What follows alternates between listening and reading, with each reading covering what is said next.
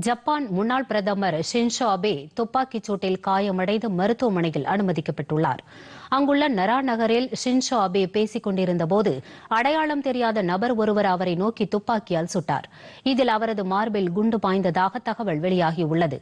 தற்போது Shinzo Abe கவலைக்கிடமாக இருப்பதாகவும் அவருக்கு தொடர்ந்து சிகிச்சை அளிக்கப்பட்டு வருவதாகவும் ஜப்பானில் இருந்து வரும் தகவல்கள் தெரிவிக்கின்றன.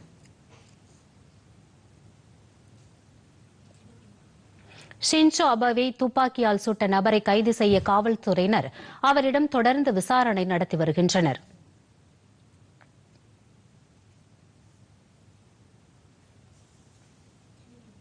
ஷின்ஷோ அபே இரண்டாயிரத்து ஆறு முதல் இரண்டாயிரத்து ஏழு வரையும் மீண்டும் இரண்டாயிரத்து பனிரண்டு முதல் இரண்டாயிரத்து இருபதாம் ஆண்டு வரையும் ஜப்பான் பிரதமராக பதவி வகித்து வந்தார் என்பது குறிப்பிடத்தக்கது.